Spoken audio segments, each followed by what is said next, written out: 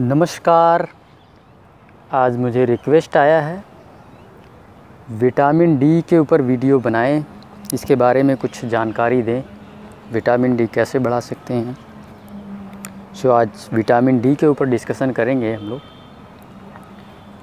Vitamin D बढ़ाने का सबसे बेहतरीन जो तरीका है, वो है धूप में बैठना।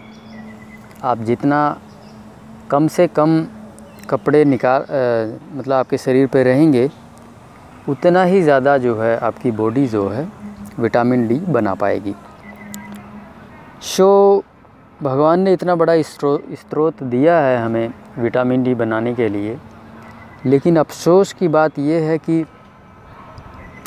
हॉस्पिटल्स में जब हम जाते हैं और रिपोर्ट में अगर विटामिन डी कम आती है तो डॉक्टर ये कहने के बजाय कि आधा घंटा रोज़ धूप लिया करो डॉक्टर सीधे जो है मेडिसिन लिख देता है दवाइयाँ लिख देता है ठीक है?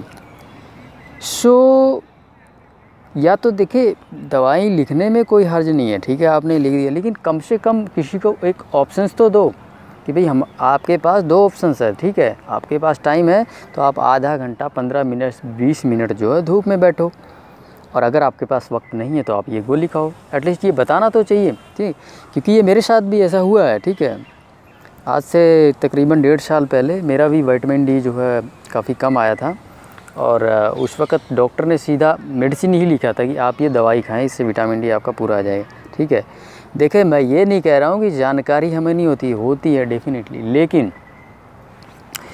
डॉक्टर की जो कही हुई बात है वो हम लोग एक एक उसकी कही हुई बात मानते हैं। अगर डॉक्टर ये बोले कि आपको आधा घंटा धूप लेना ही लेना है तो कौन ऐसा व्यक्ति है जो डॉक्टर की बात को मना करेगा? कोई मना नहीं करेगा।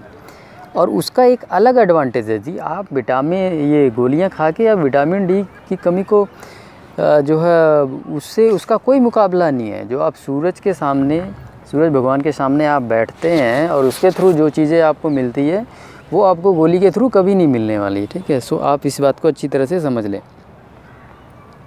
सो कपड़े कम से कम डालने हैं सो दैट जो है मैक्सिमम विटामिन डी हमें मिल सके।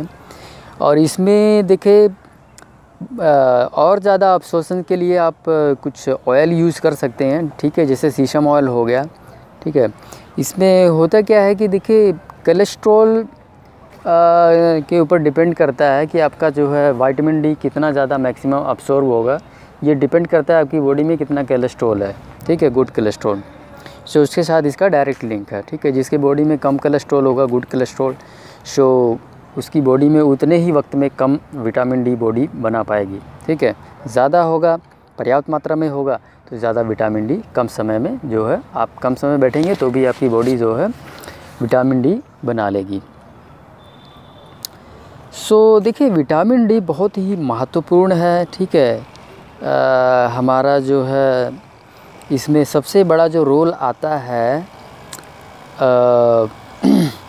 हड्डियों से जुड़ी हुई ठीक है? कैल्शियम तब तक अब्जॉर्व नहीं होगा बॉडी कैल्शियम तब तक अब्जॉर्व नहीं करेगी जब तक आपके बॉडी में विटामिन डी पर्याप्त मात्रा में नहीं होगा। अगर आपका विटामिन डी कम है तो डेफ़िनेटली आप जितना मर्ज़ी कैल्शियम खा ले आपकी बॉडी जो है बहुत कम से कम ही जो है कैल्शियम अब्ज़ॉर्व कर पाएगी, ठीक है?